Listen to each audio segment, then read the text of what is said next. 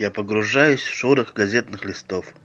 Хрупкое оцепенение тишины замерло на изумрудном кончике листа молодого, чуть благоухающего лимона. Редкие легкие скрипы старого кресла, словно штахи на березовой коре. А время чуть незаметно, ненавязчиво, то встречаясь до эфира, на грани бытия и реальности, то трансформируя смертоносный шквал, опрокидывает назвичь. И мы неловкие кукловоды, теряемся в замешательстве перед предательски упавшим занавесом и светом рамп. Перед настороженным полумраком молчащего зала. Кто из нас марионетка, кукла, артист или публика? Где оно прошлое, настоящее, будущее? Что это? И так ли все однозначно?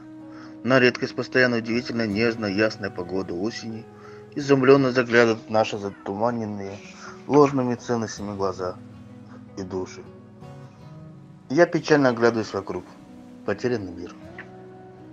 От кровавого глянцевого красного последнего листа, как будто вечность падает роса, как слеза, я превращаюсь в воздух, прощальный крик суровлиной стаи, и растворяюсь в ровном мареве заката, на излете дня навсегда.